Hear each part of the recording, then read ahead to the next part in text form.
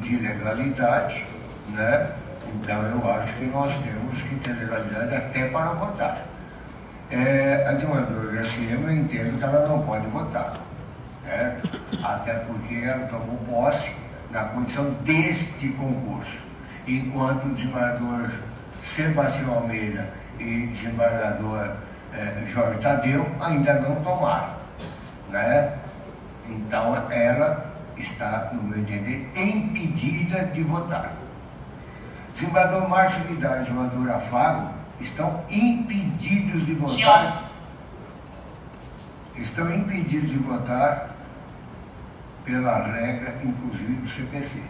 Há Não precisa o senhor me dizer que eu farei tudo dentro certo. Vou mostrar para você por quê.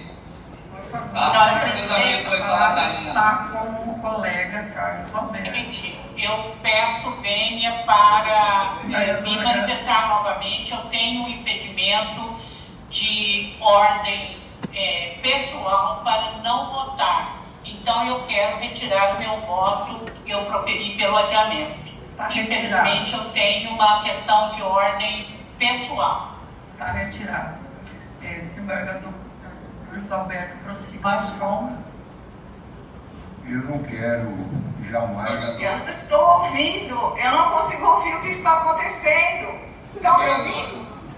Deixa eu Estamos te ouvindo, sim, mas... Desembargadora, desembargador, concluiu, desembargador Estamos analisando.